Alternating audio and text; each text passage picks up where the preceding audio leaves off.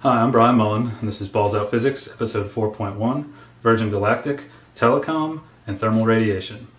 Now, I posted a, a link in the description below to a video called Space is Hard. Uh, it was made by my friend Droid Fuel, who's uh, spent a lot of time making videos about some of the stuff, some, some related things that, I, that I've been talking about, and uh, he's also become a pretty good friend of mine.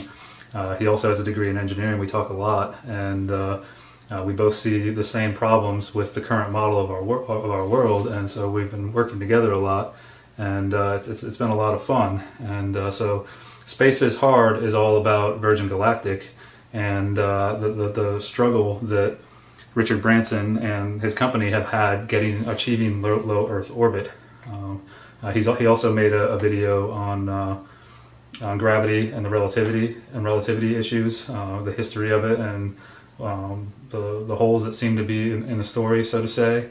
Uh, he, he spends a lot of time on these videos, so please watch his stuff. Um, they're, they're, it's all pieced together with, with with with music and voiceover, and he spends a lot of time doing this, and he says it's a lot of work. And uh, it's, to, be honest, to be honest, it sounds like a lot more work than just standing up here and flapping my gum, gums with a marker. So uh, sh- show him some love, please. Watch his videos; they're great. Need to motivate him to make some more because they're very good. Uh, great talking points too and they're, usually only about five or six minutes long, so that's not something you have to sit and pay attention to for a while, like I'm sure my videos are. So, uh, so, so anyway, back to back to his space is hard video. One of the key, a couple of the key things I want to point out are, um, you know, in 1999, Richard Branson announced Virgin Galactic, and it's a company to basically travel the stars eventually, and and he announced shortly after the, the announcement of the company that the, the consumer or commercial flights tickets would be available to fly on commercial flights into low Earth orbit, uh, low Earth orbit as soon as 2007, and that never happened. In fact, they've still never made it. Um, they're having a lot of trouble getting into getting achieving low Earth orbit, and that's kind of strange because in the late 50s the Soviet Union was able to put a dog into orbit with no no computers, no internet, no prior knowledge, no tons of aerospace engineers out there with experience, and Virgin Galactic can't do it. And then you can go farther and say in 1961, uh, uh, John F. Kennedy announced that we were going to go to the moon, and then eight years later, we did it once and then five more times, apparently. And uh, I struggle with that one. But they, they went to the moon and came back. That is so such a huge feat compared to achieving low Earth orbit. Low Earth orbit, or LEO, if you remember from the last video, is where is is, is basically the thermosphere and where satellites and and uh, the International Space Station and all these these I mean thousands of objects are supposed to be. And I mean we've been shooting them up there all the time, and Virgin Galactic hasn't been able to do it in 16 years with the internet and all of this experience. Uh, you could say it's because they're using planes instead of using the ground launch pads because SpaceX has been able to do it, but SpaceX is only working with has only worked with NASA so far and hasn't offered to bring any of us civilians up into space, which really is unfortunate because we really want to go. There's tons of people on this earth that want to go. Uh, Virgin Galactic's already sold a lot of tickets to some very wealthy people, and they still haven't been able to get any of them into space.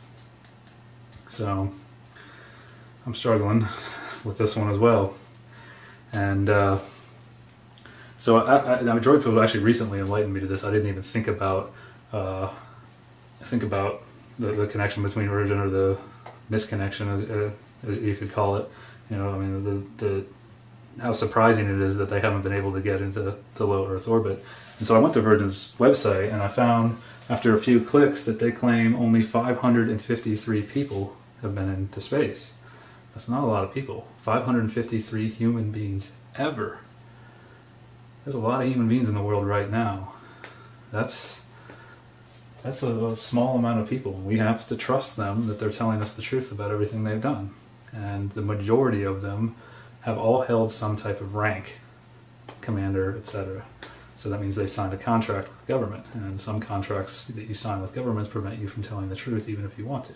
Now, that's speculation. I'm not saying that they're liars, but I have a lot of trouble believing that things are in low Earth orbit. So, just putting that out there. It's something to consider. It Doesn't prove anything, but it is an issue. So, uh, I also wanted to talk about uh, telecom, and I will start with GPS. Not really telecom, but they are related. I probably mentioned it before, but GPS is one of the first things you think about when, when people would tell you that you know nobody's ever been to space, that satellites aren't real, and uh, you know the satellites would burn up in the thermosphere, things like that. You say, well, how does GPS work? It's the very first thing I thought of. You know, how, my, how does my Garmin work? Uh, that I don't use anymore thanks to cell phones, but um, uh, it's supposed to work off of satellites, and I actually have an ATV that has uh, GPS on it that worked way back in early 2000s, and so uh, I wonder, uh, you know, so that was one of the things I thought about too. How does that work? And um, when you really when you really start to dive into all this and research the history of GPS, you'll find that in during World War II, GPS was actually developed and it went into service in 1947 before any satellite was launched. And so it actually worked using relay towers. And uh, it could still be working the same way. That is a possibility. But the general consensus is that it works off of satellites. But there is a way it could work without them. And then that leads into, you know, we had satellite phones in the 80s and the 90s. People, people, you know, usually fairly wealthy people were using satellite phones. Um, we had cell phones with towers too, but there were also satellite phones. They did exist.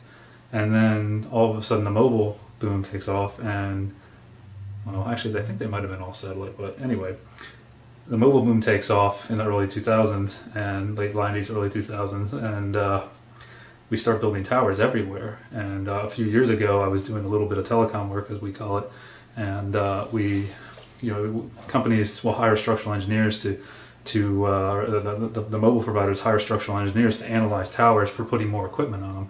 A lot of times, we're, we're, I mean, the, these companies are competing with each other so fiercely that they're trying to provide more bandwidth to their customers to, to grow their customer base. And so, you know, they're putting more and more equipment, upgrading equipment, putting more more loads on these towers, and uh, to the point where we actually reinforce towers sometimes. You know, the, the tower is is maxed out with the amount of equipment it can support for wind loads and, and, and things like that. That they they start reinforcing the base of the towers and the truss members and everything else, depending on what type of tower it is, to, to allow for more equipment. In some cases, they even build a, a new tower right next to an existing tower because we're trying to expand to all these mobile providers. But when I started thinking about this back then, you know, I, I got into it. I thought it was really interesting at first.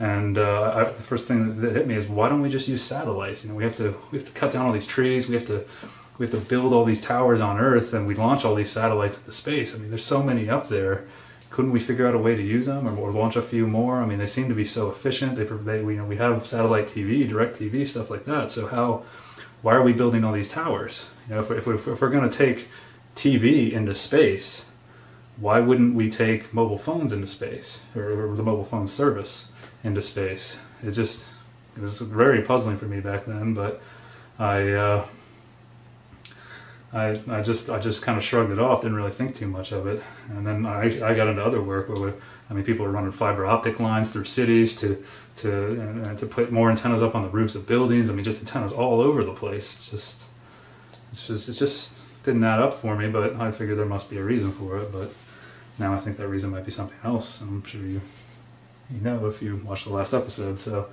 um, so that that was that was very puzzling for me, but. Uh, in, in the last episode, in episode four, I didn't I didn't I talked about con- conduction and convection, but I didn't talk about thermal radiation, and I didn't do that on purpose because I had I had looked into it, and I wanted to see what people said. I wanted to see what kind of rebuttals I got uh, with with black bodies and and uh, you know everything we're taught how things radiate in space, and uh, because I, I, wanted to ha- I had I knew I had to talk about that in a separate episode because I wanted to explain the thermosphere and all that, and I didn't want to ramble on for an hour.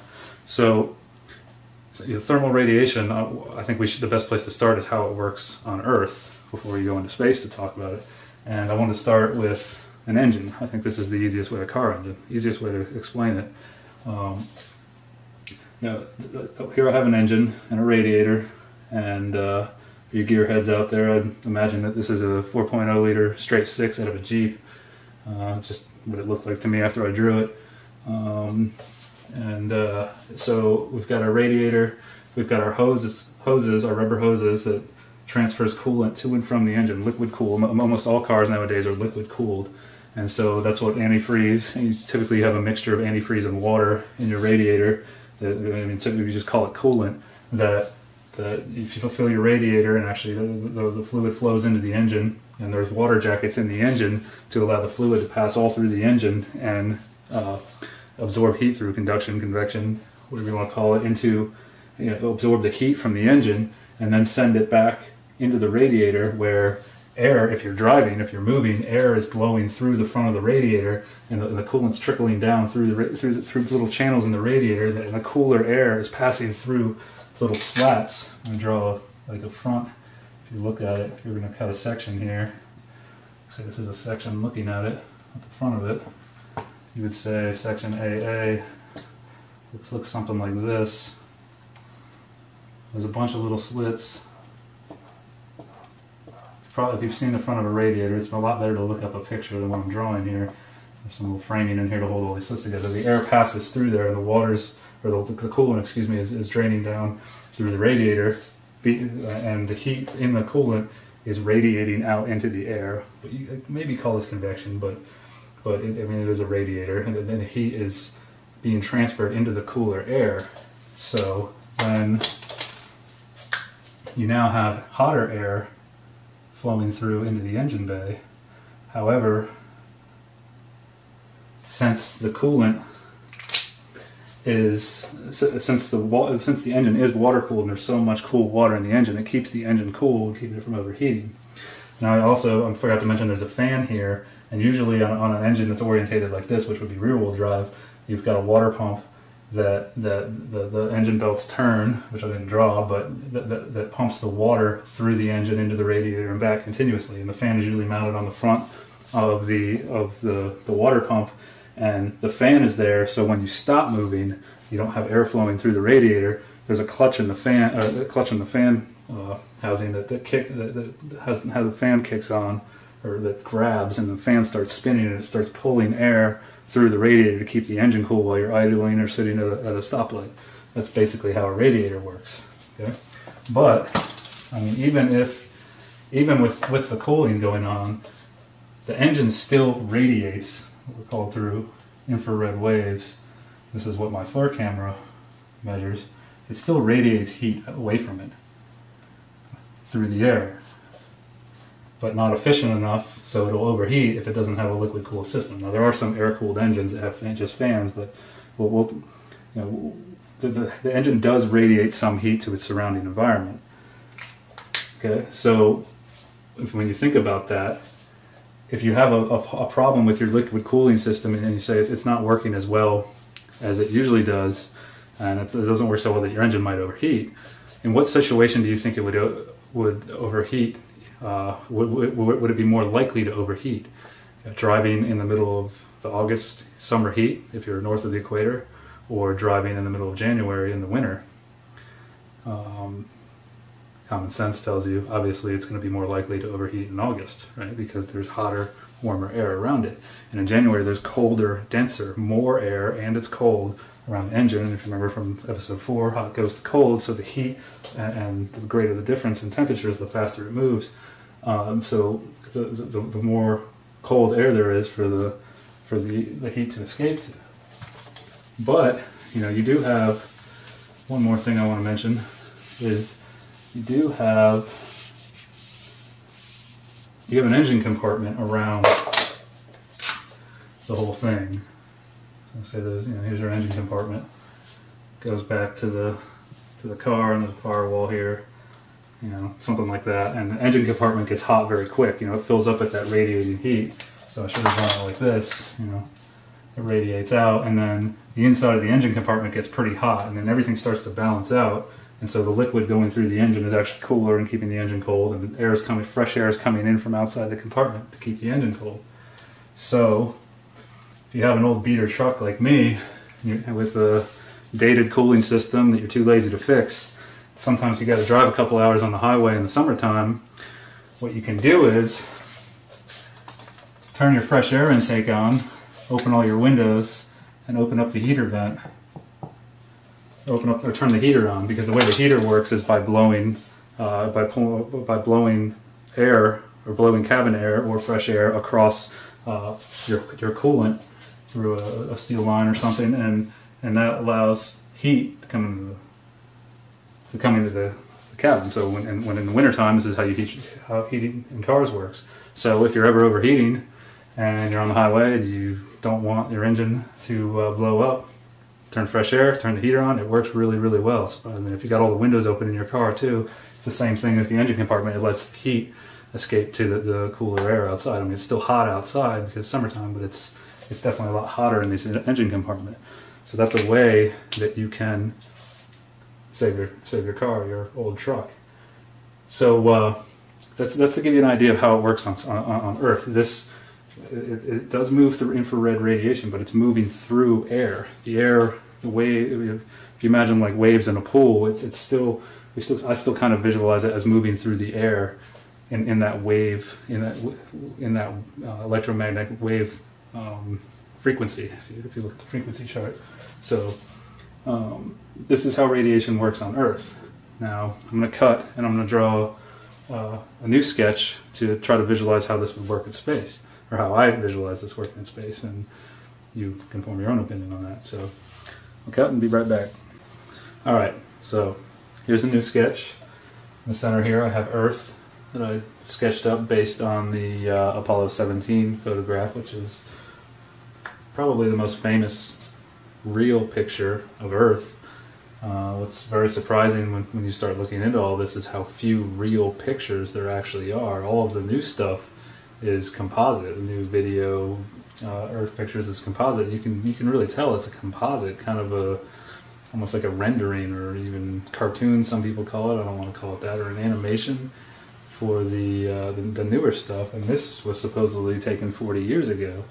And I've also watched uh, people who are very good with Photoshop play with layers and break this down and show that it kind of looks like this was faked. But I'm not a Photoshop ex- expert, and I'll let you be the judge of that. If just look into this and uh, see what you find. But anyway, assume it's real. Apollo 17 uh, photo. got Africa, Madagascar, Saudi Arabia, Iran, and India up here. That's the footage that's in a lot of our textbook, or the, the picture that's in a lot of our textbooks. And so I'm assuming that the sun is over here, and it's 100 times the diameter of Earth, so all the light should be, or the majority of the light should be engulfing Earth, theoretically. And got sun rays, typical. TYP is a very common abbreviation you'll see on engineering drawings. Um, so I've got the sun rays engulfing Earth, or absorbing the, the rays that are hitting it, the other ones are passing by the ISS up here in the thermosphere, and then I've got a blow up of the ISS that, that I want to talk about, and also added up to Apollo seven or Apollo thirteen up here because I mentioned it in the last on the last video, and some people had said that that the the light hits Apollo thirteen and it heats up, but it immediately cools down, and immediately heat immediately radiates away because of uh, uh, black bodies and uh, thermal radiation in space through infrared uh, infrared light. Okay.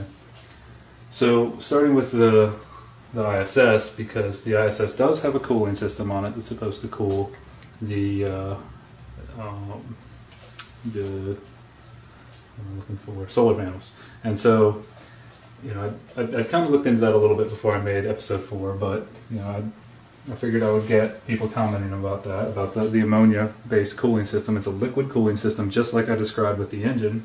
Well, not just like I described it, but very similar. And so what's supposed to happen is these are the solar panels right here. If you look this up, I, I have a link below in the description to uh, a space.com article or, or, uh, or to the space.com description of how this works. And so you've got the solar panels, and then this is the body of the space station, and you've got Russian and American side. You can you can you can see all this on space.com.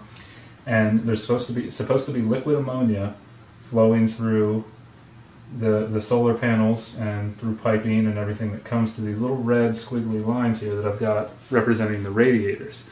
Now there's each one of these, there's three at each one of these locations, so there should be six radiators total. And so just like with the engine, the car engine, Heat is absorbed by the solar panels to keep them cool. You know, heat, heat escapes from the solar panels to keep them from getting too hot, and then and, and it's, uh, the heat flows into the cooler ammonia, and then the ammonia flows to these radiators, and then heat radiates out into space or the thermosphere where the ISS is. Okay, but in this case, it's not the same because the air particles are so far apart from the radiators that the, the, the heat isn't transferred directly into matter. In fact, the heat just becomes electromagnetic radiation or infrared light. That's very different. And what's confusing to me is when does, when and why does heat suddenly jump from matter to nothingness?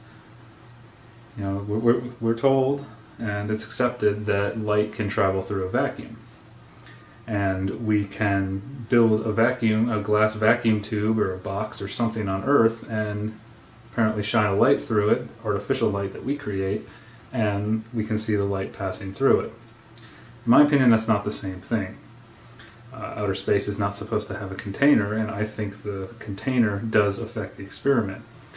And if you've ever studied the double slit experiment and what happens in that experiment, how do we know that we're not seeing light pass through a glass vacuum tube because we expect to see light beam, like covering all the electromagnetic spectrum, but we can see the visible light passing through it. Now that sounds far fetched, and in episode six, I will go over the double slit experiment because that is one of the most mind blowing things I've ever discovered in my life and uh, it, will help me explain why I think this could be different and possibly a trick, uh, not necessarily people trying to trick us, maybe the world actually tricking us. Uh, and I'll, I'll, get into that. So I can't explain it yet. So let's just assume it works. Let's just assume that heat contained in matter, in, in that ammonia, in the radiators, can just become infrared light and radiate out into space. And since space is so much colder, or the black bodies in space, because this is the, this is the theory, that there are black bodies in space that absorb all of this heat or this, this electromagnetic radiation, it escapes from the station and it doesn't get hot. Okay? And my first question when I started thinking about this is what about satellites? Do all of the satellites have these these ammonia-based cooling systems too? Because they have solar panels as well. They're going to need to cool those solar panels. So maybe they do. But that's a lot of ammonia-based cooling systems, and have we have we been using those since we started launching satellites? I don't know. So that's the question there. And then Apollo 13, the argument against why it doesn't get hot is because the, the light hits it and then it immediately radiates away through. It immediately becomes infrared radiation and the body of the space station is supposed to reflect that infra is supposed to reflect electromagnetic light so it doesn't get hot. And the same with astronaut spacesuits etc that's a tough one for me but assume it works. Okay? So infrared radiation or infrared light radiates away from these little radiators out in this out into the void of space, where theoretically I, I would say it's infinitely cold compared to everything else. Um, you know, it's, it's, it's theorized that out in space there might be locations where absolute zero is is obtained. If, you, if you've never heard of this, absolute zero is the theorized temperature at which atoms stop moving things freeze completely. The electrons, protons, whatever, the, the, the stuff that makes up the atom stops moving. And that is roughly negative 273 degrees Celsius or zero Kelvin. We actually have a temperature scale based on this, and that's what Kelvin is. And to, if you want to convert Kelvin to Celsius, all you have to do is subtract 273 degrees from whatever temperature you have in Kelvin, and that'll be your temperature in Celsius. So just a some food for thought there on the idea of absolute zero, which we've never been able to attain on Earth through experimentation, but that makes sense because there's always going to heat's always going to find its way to uh, to what we're working on somehow. But we have achieved some very very cool temperatures, which is very interesting. So, all right, heat escapes these objects through infrared light, so it's not the heat just becomes infrared light. That's the way I interpret it. And so here in the thermosphere, where we've got these hot temperatures, I crossed out sphere because I'm not sure what the, the, the Earth is, so I'm going to try to refer to these as the thermo layer. because layer works on a sphere or flat or concave, whatever. So then the thermo layer, even though the temperatures are this high, the particles are too far apart, so they don't transfer heat to the station, but they also don't transfer heat away from the station. So they're kind of doing nothing. And infrared light is doing it all. Right? And so somebody actually posted this on my last video. I, I looked through some PowerPoints, but I hadn't seen this one, and this one I, I like. Um, it looks like it came from uh, European Space Agency and a college course. But they, I'll post. I've got a link posted this below, so you can go through the, the slide if you want to. And it's you know it's 66 slides, but I wanted to focus on radiation here. You know, they give they, they go over the means of, of heat transfer, and then they, they, they state that radiation is how it's done in, in space. So you know, we have the characteristics of radiation, you know, propag propagation of electromagnetic energy in a straight line between surfaces separated by absorbing scattering media which they have crossed out because that's what happens in Earth with the engine example. That's what the air is around the engine. That's what it's considered, absorbing scattering media. It absorbs the heat and scatters it out to colder areas of the air for, for, for heat to radiate away from the engine or you know, air traveling through the radiator, etc. But then they say it, it happens or in a vacuum. So in a vacuum, it also works, which is, I mean, it's two very different situations in my opinion but it works in a vacuum. Okay. Hence, without matter displacement. So on on on Earth, we do have matter displacement with thermal radiation, but in space, we don't. It's totally different, which is somewhat confusing. Okay, and it's reflected, absorbed, or transmitted on surrounding bodies. And so in space, what they do is they assume this idea of a black body is either real or a fictitious surface. So, and my guess is it's generally fictitious because they don't have an actual body they can use for analysis, but it it's, it's real or fictitious and it absorbs all incident radiation, radiant energy from every direction at every wavelength. Okay? And so radiated energy depends only on temperature. See that? So that's how it's supposed to work in space. Well, the thing is, we can't test this. The majority of us, the majority of us human beings here on Earth, only 553 people have been able to witness this in action, allegedly. So, we have to take their word for it. We can test the car engine, as everyone knows car engines get warm, and uh, you can, I mean, you can, you can see coolant flowing through a radiator if you open the cap on the radiator. Now only do this if the if the engine is cool or running at operating temperature and not overheating. Never ever open the cap on a radiator if the if the if the car is overheating.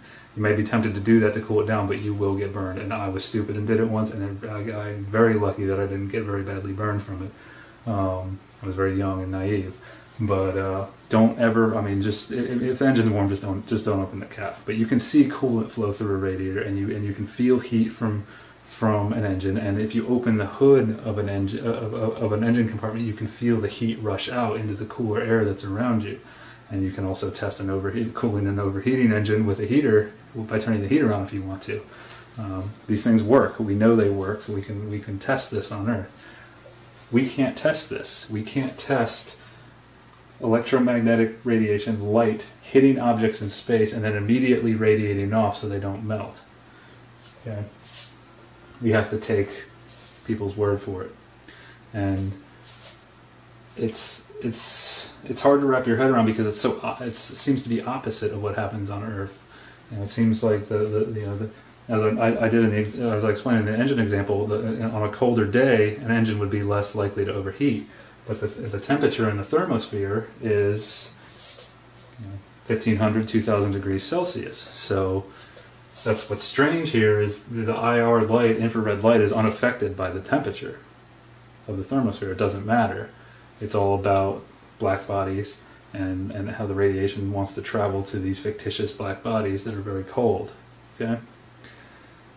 So, that's that's how it works, and let's let's assume that it does work. That the electromagnetic uh, or the infrared light can transfer heat away from bodies in space.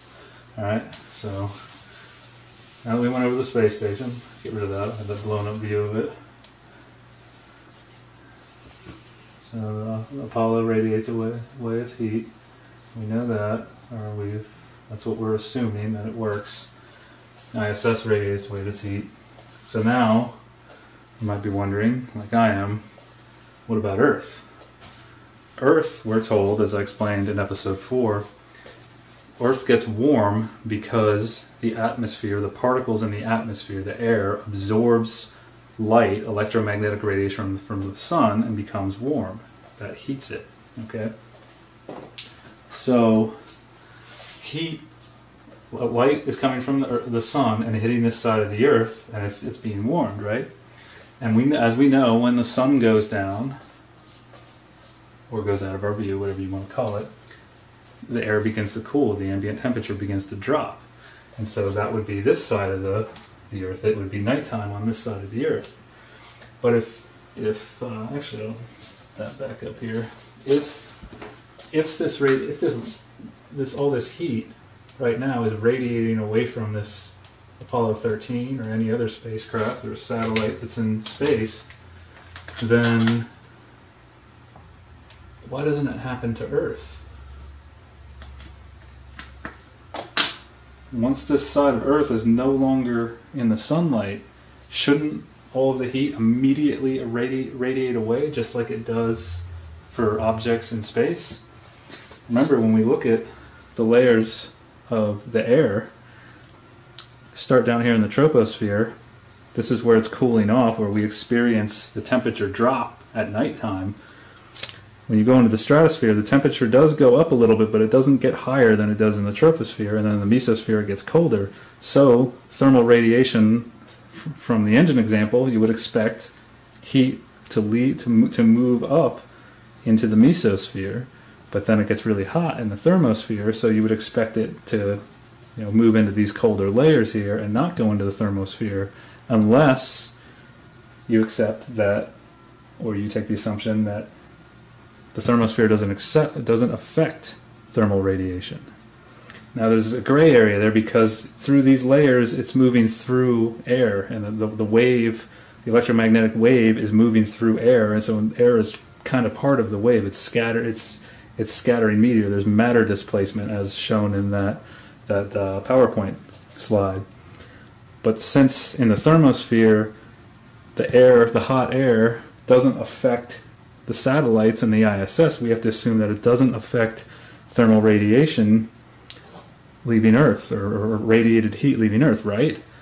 It has to be that we it can't do one and, and, and it can't stop one and not, can't stop one and prevent prevent one prevent one and allow the other to happen. They both it has to be consistent. I mean that's at least that's what logic tells me. So thermal radiation leaving the Earth is not affected by the thermosphere at all. So what stops all of this heat from immediately escaping?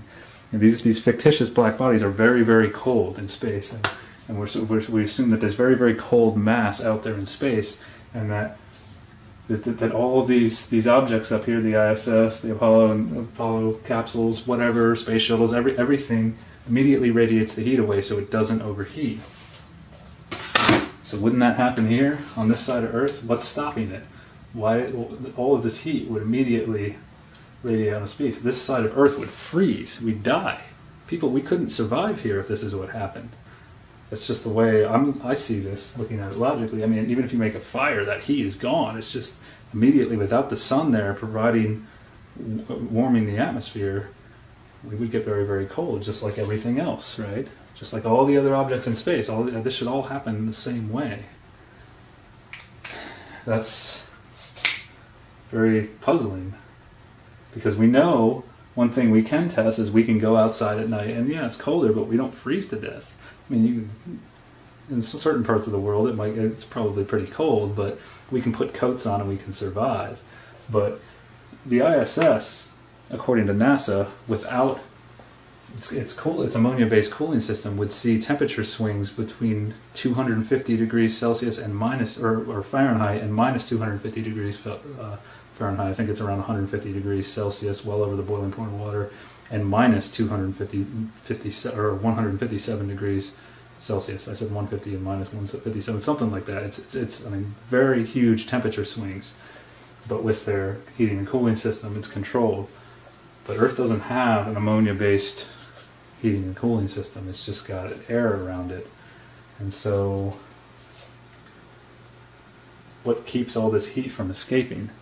You might think, uh, when I first started thinking about this, I thought, okay, maybe some of this heat from over here where it's getting hit by sunlight makes its way over here. But no, space is colder. The black bodies, the assumed black bodies in space are cold, so it would go, the heat would be going this way too. It wouldn't come over to this area. I mean, the heat would just be trying to get away from Earth as fast as it possibly can. So that that doesn't make sense to me.